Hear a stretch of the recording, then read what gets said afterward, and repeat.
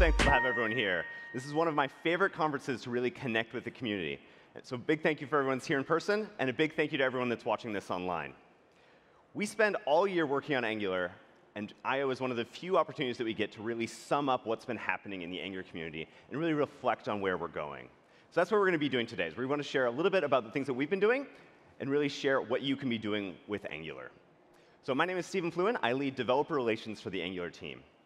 Our team is really focused on two things, helping developers and organizations be successful with Angular and reflecting your needs onto the team so that we make the right sort of product decisions as we continue to evolve the platform. Now, before I start, I really need to introduce you to someone. So this is my son, Daniel. I had him about six months ago, and I was terrified when we found out that we were going to have a kid. But I had a friend that told me it's going to be okay. Kids, as they go from being born to crawling to walking to driving to leaving the house, they give you time. They give you time to adapt and reflect and really understand what's going on. And the reason I'm putting him up there is because technology is not like that at all. Technology changes every single day. It changes faster than any of us can keep up. There's new APIs, there's new capabilities, there's new best practices. And so keeping up to this can be really, really challenging. And so our talk today really has two points. One, I want to bring everyone here up to date on what's going on in Angular. And second, I really want to talk about how Angular is working to make it easier to stay up to date in general. So let's get started. So I want to start off by reflecting a little bit on the last year in Angular. If you look back, we really, really believe that everything we do is informed by our values. So we care about three things. We care about apps that users love to use, because if we're not here for the users, we're probably not focusing on the right things. We care about apps that developers love to build.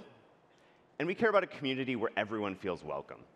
And so even just last week, we were out in Utah. We had the whole team out to give a whole bunch of presentations and connect with the community. And we love engaging with the community. We really strive not only to supply great technology, but also to listen and engage because we are not successful because of ourselves. We are successful because we have so many great people that are working with us and building with us. We actually got an interesting opportunity earlier this year. We were able to connect with about 22 public enterprises that are using Angular. And one of the first things that I did is we went around the room and we said, hey, everyone, why, why do you like Angular? And the responses we got were almost universally in three categories. Number one, developers love our CLI. It helps you go faster, it helps automate all of the things that you should be doing, but oftentimes we as developers, we forget about.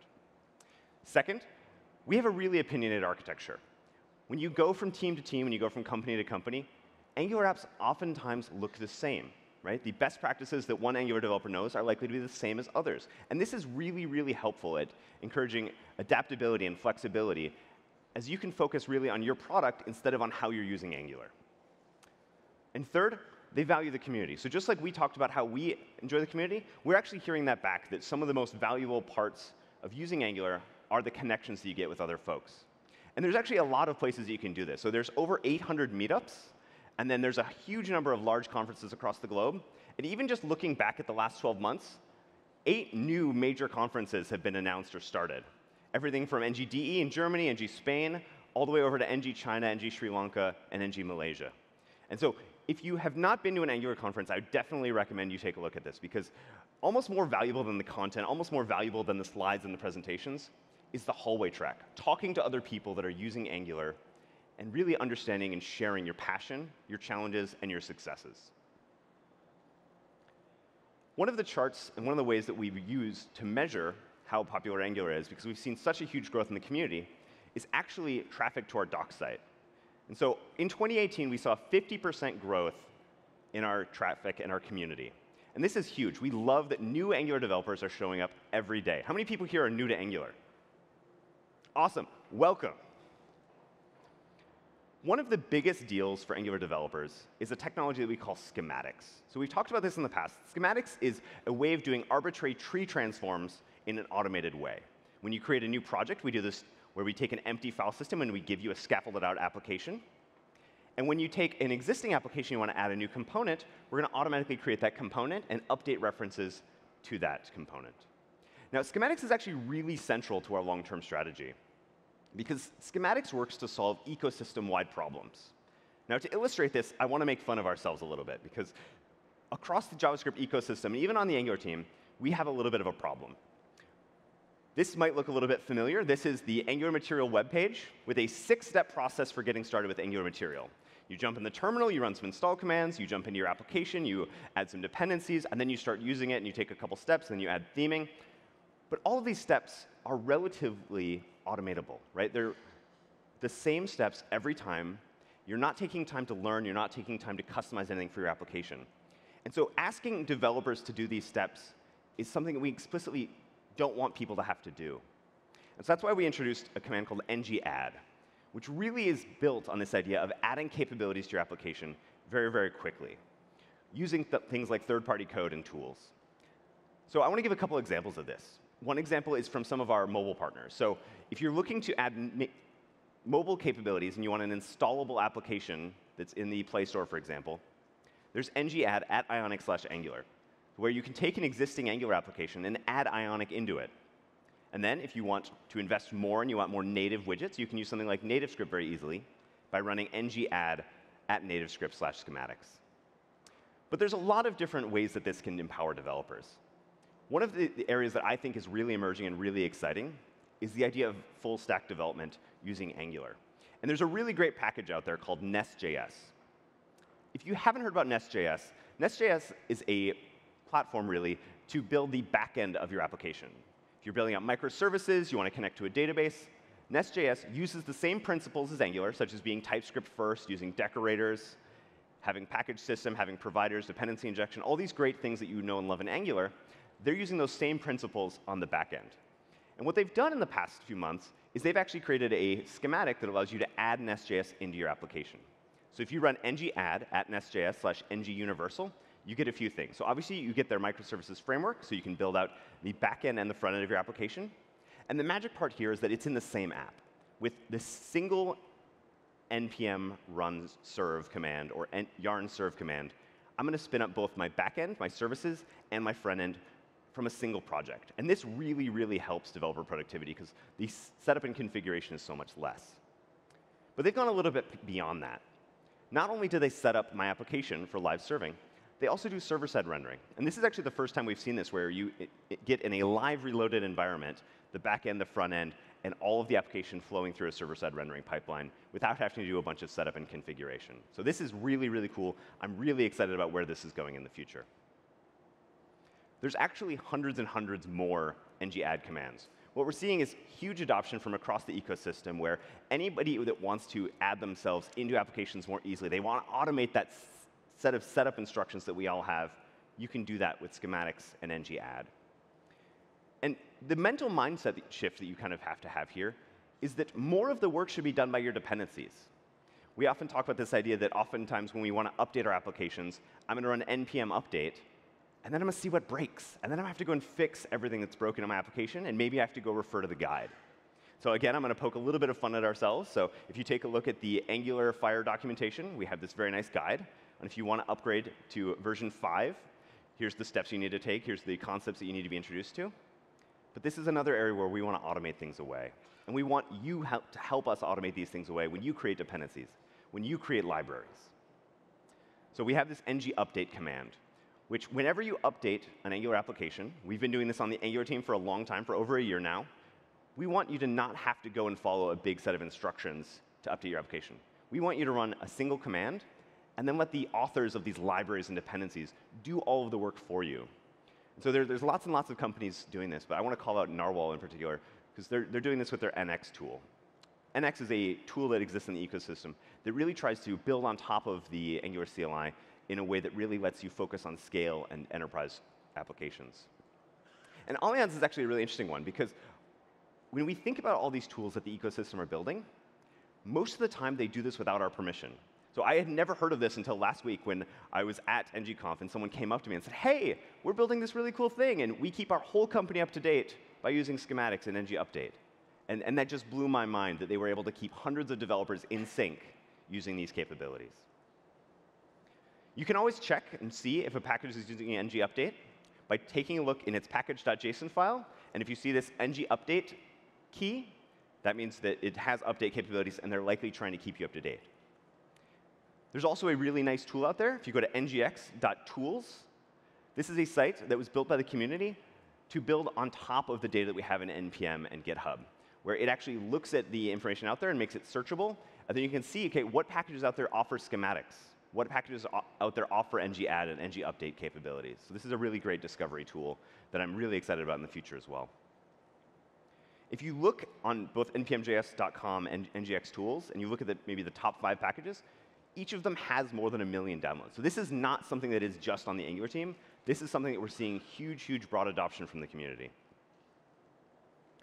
If you really think about our strategy here, we're investing in keeping you up to date, really taking the burden off of your shoulders and staying up to date and putting on ours.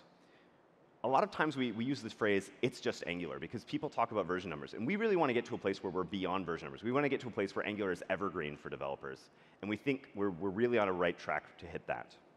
And a great example of this is actually a blog post that was written by Air France KLM, where they talked about how updating to version 7, they did it in a single day. So they did this giant enterprise application with millions and millions and millions of users in a single day.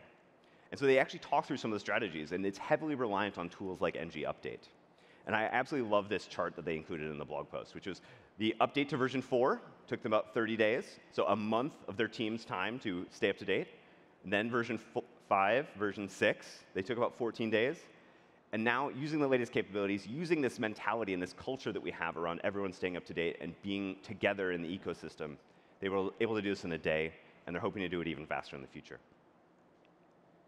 There's lots of different ways that all of us benefit from Angular. Angular really focuses on this idea of helping you move faster with a set of integrated tools, helping you scale better by using the knowledge that we have from Google. There's lots of cool tools coming out all the time that I'll talk about a little bit later and really helping you reach further on more devices, more capabilities. We have a whole set of integrated tools from our CLI, Forms, HTTP, Material, and the CDK. These all help you stay on the kind of the happy path with Angular. And we really focus on this idea of having a really great integrated option without removing any of your flexibility. You can swap out any of these tools and do everything yourself if you want to, but we find that most Angular developers find the tools they need or they start contributing back to us. And that's something that we are really excited and passionate about. So, what has been new over the last year? We've launched a whole bunch of features. I'll just highlight a few of them. We launched a very, very nice drag and drop support in our CDK or component dev kit. So if you want to have something a little bit higher level than those low-level primitives that exist in the browser, we have a drag and drop that supports previewing. So as a user's dragging, we'll pop previews into the right place. When you release, they'll snap it back. All those sorts of nice things that you expect, you can do those with the CDK. We also introduced capabilities for virtual scrolling. So if you need to render a list of a million items, I, I, would question why you're rendering a million items, but you don't have to do it all at once, right? We can have a very small subset of those in the DOM at any given point, but still have the nice scrolling capabilities.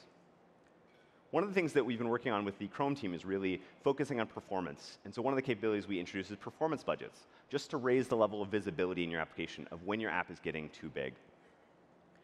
From the community again, Angular Console uh, which is a really fantastic graphical interface on top of the Angular CLI, is now available in Visual Studio Code. And we have differential loading of polyfills. And I'll, I'll, come back to this, but differential loading is a really great strategy for shipping less JavaScript to the browser whenever the browser is capable of it.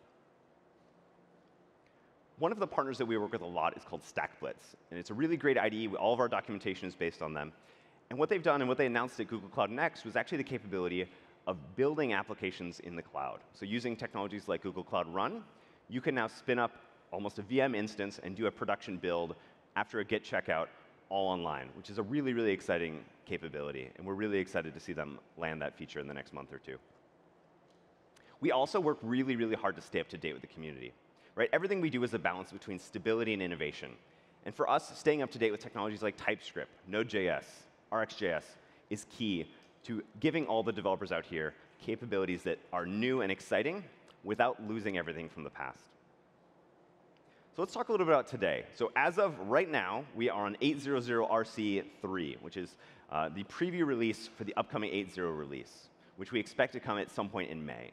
And this has lots and lots of really cool, exciting things. Uh, a couple that I'm going to call out. So we expanded differential loading. So I talked about how in the past we released differential loading for polyfills, which meant we shipped only the right polyfills. Now we're expanding that into your main bundle and your lazy loaded chunks. So no matter how much code you write, we are now going to be doing two builds, effectively one for legacy browsers, which ships ES5, which is what we've always been shipping up till now, and we're going to ship one using modern JavaScript. And the benefit here is that we really get to save a lot of the bundle. So, for example, Angular.io, we, we switched to this because it's automatic for anyone that opts into version 8. And just from the change in the language that we shipped to the browser, we saved 41 KB.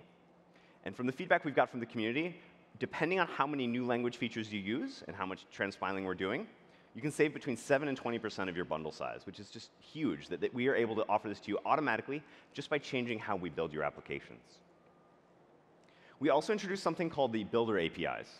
So the Builder APIs allow you to tap into commands like ng-build, ng-serve, and other commands in the same way that schematics have historically let you tap into things like ng-generate or ng-new we're really excited about the potential for builders because once you've done a process like this where you build out, uh, as you can see, you, you, call the create builder method, you pass in a function that returns a promise of a builder output. It, it's relatively straightforward when you get into it. We actually just did a blog post about this. But the potential for this is huge. And we've actually already been working with a bunch of teams, so Firebase, Google Cloud, Azure, and some other folks, so that if you run ng run deploy after installing a package that supports these builder APIs, you can not only do your build, but you can do automated deployments. And we feel like this is a really, really essential step to taking Angular applications from being just great JavaScript to being great JavaScript that's being served really well.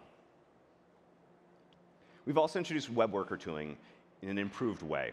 So historically, you could do this with a little bit of hacking in the Webpack config and those sorts of things, but now we've included it as a first-party thing.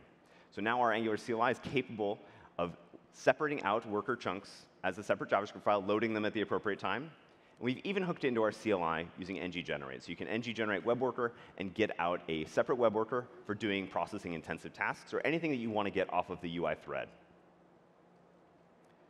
One of the big deals that's coming out for AngularJS developers, that people have been asking this for a long time, is that now our dollar $sign location service, we can essentially share the URL between AngularJS and Angular applications. This was historically a challenge for these hybrid applications. If you were doing an incremental migration from the older version AngularJS up to Angular, this, this could have been a challenge where you had the two frameworks essentially fighting over the location. But now they're able to share that using the Angular router. So we're really excited about the things that that unblocks. We also announced that we're renaming the Angular material team to the Angular components team. And the first thing that they're doing as part of this kind of new team structure is really focusing on collaboration. And so they're working with the material design team specifically around the MDC web components that are a set of JavaScript components and HTML and CSS that come from the material design team for manifesting material design on the web. And what we've done is we've created Angular wrappers around them.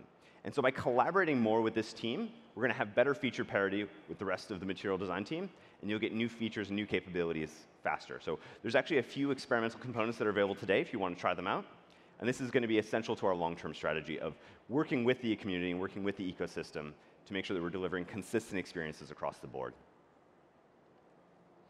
So I really want us to think about the investments because we're investing not only in Angular, but we care about investing in the ecosystem because as I, I, started off saying, we, we cannot do this alone. We are successful because of the community. And so to think a little bit more about these investments, I want to invite Vikram to the stage, who's going to tell us about some of the cool new things we're doing with Ivy and Bazel, as well as what they unlock and what they enable for developers as they land in the future.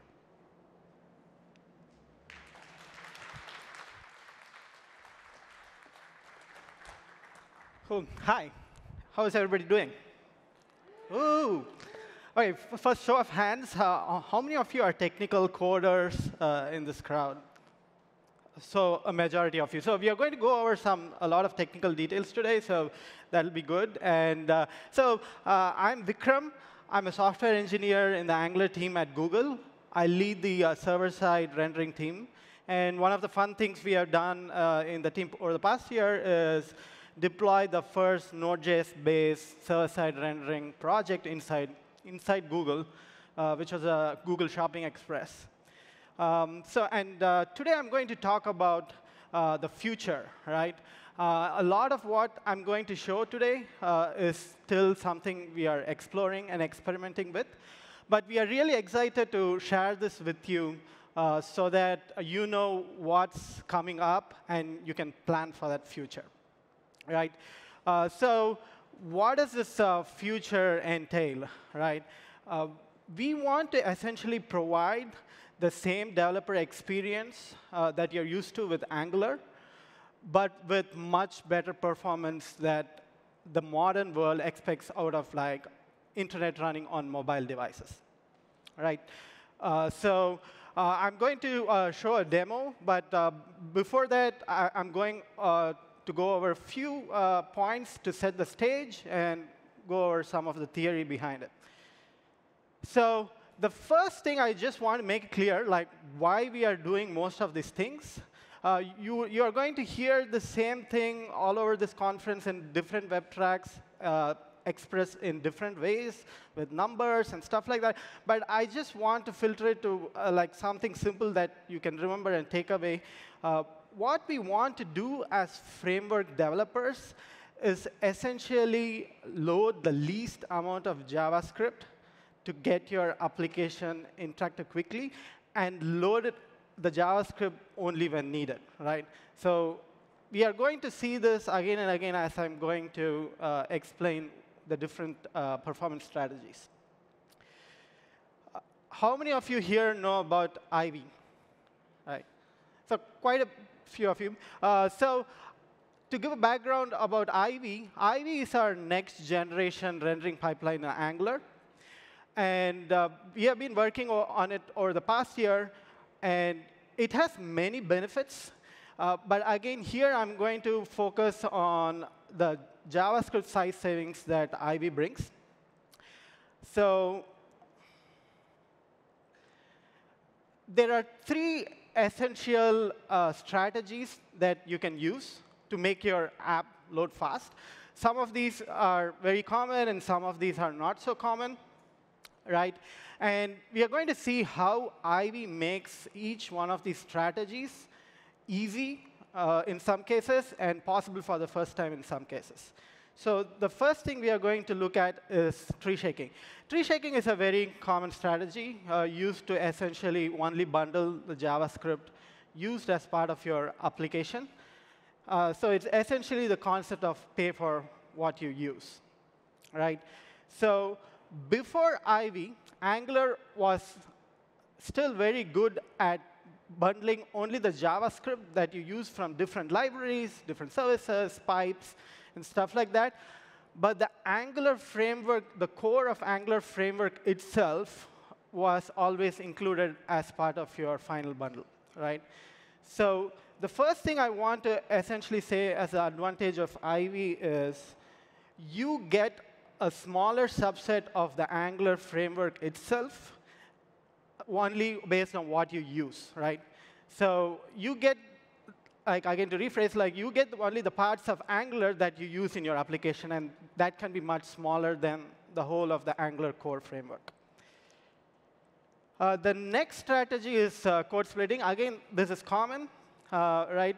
And the concept is essentially to split your application into different chunks so that you can load them as a particular feature uh, is needed, right? So it enables the pay-as-you-go strategy. So before Ivy, um, I mean, the best practice we have in Angular currently is to do code splitting that's route-based. Uh, but again, I want to emphasize that before Ivy, um, even though the libraries, the services especially, uh, were getting code split uh, much better, uh, and the services end up in the chunk they are used. The core Angular framework itself was always ending up in the initial bundle, right? So how Ivy helps is something similar to what we saw in tree shaking, but it's, it's different, right? So with Ivy, we are able to split the Angular core framework itself into subsets used only in that chunk. So we are able to distribute the core itself better across different chunks, and this makes our initial bundle sizes much smaller than before. The other thing that Ivy enables now is essentially, now it becomes meaningful to think about not just route level splitting, but since our bundles are uh, small, we can actually think about component level splitting, right? What if every Angular component you write could end up in its own chunk? right? So with, with that, we, you, you can think of loading your application in really small chunks. So uh, here, like instead of like doing it on a route level, we can think of even in a single route, you might have a shell, a navigation bar, and some page. Each one can go in its own chunk. And there's something else I wanted to uh, like think about is now we can think about code splitting not just over different components, but even for your same application or component, we can think of meaningfully code splitting your app over time, right? This you can think of progressively enhancing your application, right, by first loading an initial version of your application that's fast to load but uses a smaller subset of Angular. And we can defer load the rest, like things like animations are things you might want to load in the background. And it, we can essentially then progressively enhance your app to its final full state where you're using the whole uh, feature set of Angular. And again, since we are able to split the core itself into uh, separate chunks, uh, this becomes uh, a viable strategy now with Ivy. The last strategy I want to talk about is uh, progressive hydration. Uh, this is, again, more experimental, but this, this finally brings together all the different strategies that we talk about and allows us to load our Angular application in a really fast manner. And so we saw about like tree shaking, where it's, uh, where it's pay for what you use, code splitting, where you're ready to pay as you go, and progressive hydration is where it actually makes all of this come together and lets you load your application uh, in a much granular fashion. So to show this, uh, we'll be essentially um, uh, showing you a demo uh, that shows off all of this together. And uh, uh, we have two versions of the app.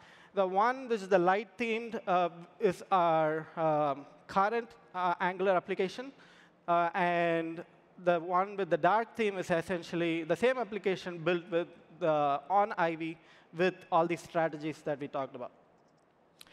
And to uh, explain more about what you're seeing, um, this is essentially uh, the breakdown of uh, the demo app. Uh, by the way, this is the new Angular Getting Started app that we'll be releasing as part of uh, our 8.0. Um, and um, so it's, it's somewhat closer to uh, a real app, though it's not a real app. And it uses different features of Angular, right? So it's not a simple hello world program. It does use different features of Angular. So uh, you have a root and a top bar, and we have an actual router in there, uh, which picks the current route and loads the component for that particular page. And this particular page has a, a list of products and a button to uh, show an alert.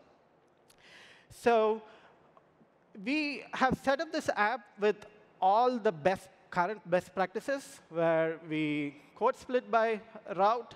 Uh, of course, we do ahead of time compilation and minification. And on top of that, for faster first paint, we have also set up server-side rendering in this example, right? Uh, and we want to compare the best of what we were able to do with what we can do. So the demo starts with a static pre-rendered HTML version of the page. In this case, there's a node server that's doing when the request comes in. And uh, just to show you that it's static, I'm just sh like showing it in uh, gray. So what happens before Ivy, right?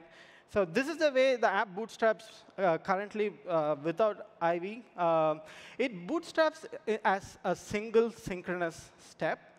And Angular takes over your page, and your page becomes interactive right? This has two problems.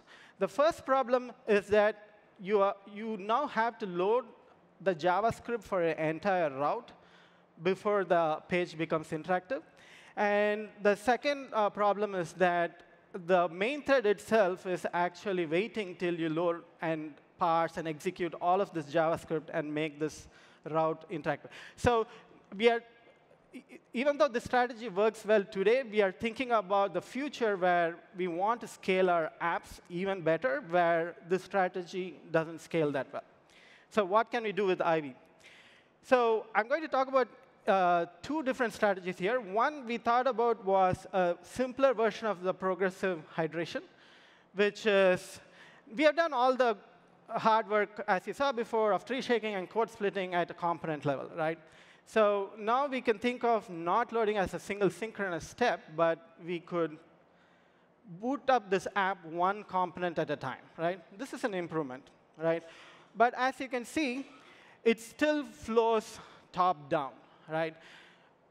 This might be more um, comfortable in, in the model that we are used to right now, but we think we can do uh, better than this. So we went back and thought about uh, how can we make this like even more faster, right?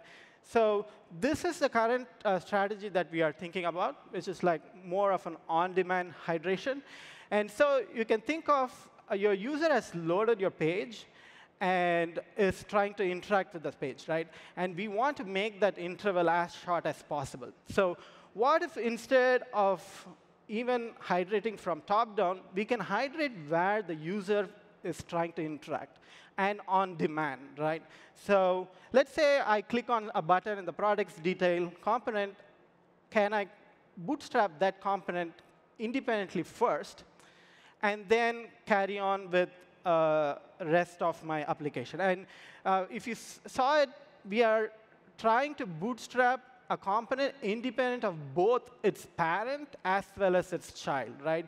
So we, again, we did all the hard work of splitting our application code at a component level. I, we think we need the strategy to really um, take advantage of that, right? So if the product details always fetch the product alert, we are not making full use of that. So we are thinking about, hey, can we really bootstrap one component at a time independently without its parent or child?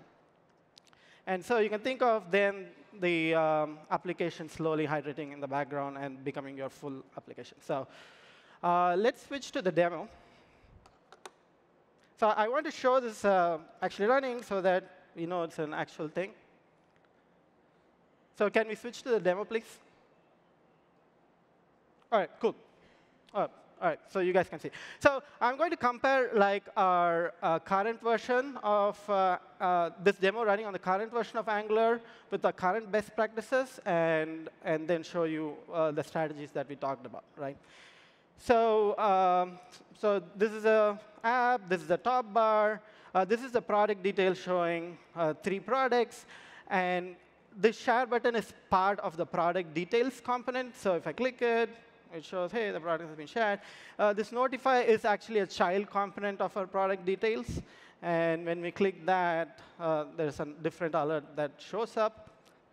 Right? And if we see what's happening behind the scenes for this one, So uh, we actually server-side uh, render this uh, page. And um, so you can see there's a thing that shows it's server-side rendered.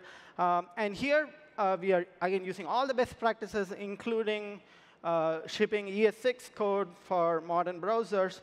And uh, you can uh, see that the code size is around 217K for like the first initial load of this app, right? So if I reload this, it's server-side rendered here, and then all the JavaScript loads, and your app becomes interactive, right?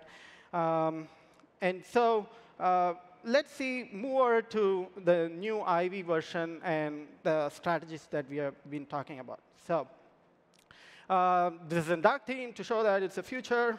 And uh, this behaves, as far as the user is concerned, this behaves the same way, right? Clicks, bunch of things, but, and the same thing happens. But let's see what happens behind the scenes, right? So again, this is server-side rendered the same way as before. But the different really here is we don't load almost any of Angular as part of our initial bundle. We just load some facades to load the rest of your app as the user interacts with it. So if you look at the uh, bundle sizes, it's something really small, right? So uh, in our team, we look at like essentially the uncompressed minified size. So you, can see that the initial bundle size is around 11 and maybe say 15 KB, right? So by this time, like we have set up all the things we need for this app to be interactive, but it's not really interactive at this point, right? So let's see what happens when I click the share button. So I'm going to clear this so that we can see the incremental load. Right, so I'm going to uh, click the share button. So what, what is happening at this point is the initial code that we loaded has bootstrapped the page in, in, a way that it can wait for a user interaction and then load uh, the necessary code uh, for responding to that user interaction. So this is really the first time we are bringing uh, Angular at all into the picture. And as I told you, with Ivy, we are able to code split better. So compared to the previous example, we are, we are able to bring a much smaller subset of Angular as part of this. So you can see that we brought in like around only 46 KB of Angular, and then we are able to uh, make this app interactive.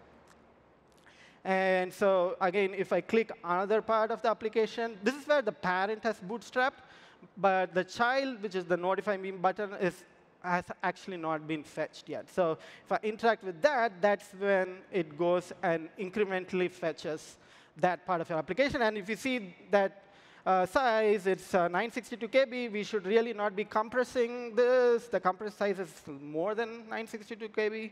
Uh, but you can see essentially like we, have, we are now able to uh, code split this app uh, into uh, such a small size and incrementally loaded, which can give our users a much better experience. So I'm just going to click over different parts of the app to see more examples of the lazy loading. So if I uh, navigate to a different route, we are actually loading the router only at that point, right? So you haven't paid the cost of the router so far, and now is the time we are actually bringing the router, and we are not really bringing a big router. We are bringing enough router to be able to do the route change, right? And so again, you can see the code size, is, it's almost like a magnitude lesser than what we saw uh, in the previous example. And um, so if I go to the checkout page, similar, very small chunks. So you can see that uh, what the advantages of Ivy brings in here, right? Uh, we are not just able to um, code split in a, uh, to a much granular level. Uh, it also now enables very advanced strategies for you to uh, load this application in very small chunks. Um, this, we believe, will make Angular ready for the next generation of uh, loading and serving for Angular that's much faster. So um, can we switch back to the slides, please?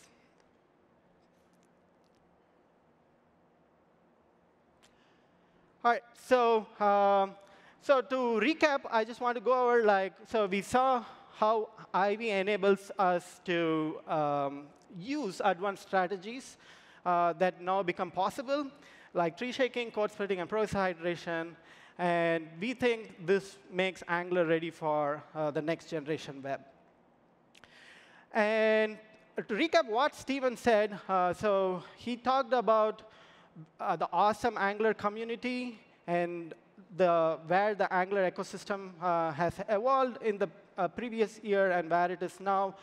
And uh, we are investing not just uh, in the present, but also in the future, right? And the one good thing that Angular team does is we really want to take everybody from where we are today to the future that I just showed you. So uh, thank you all for like using Angular and taking this journey with us. We are really excited to have you in this journey. And we'll be available after the talk um, outside, and, uh, and we'll be available in the web sandbox as well. All right, thank you.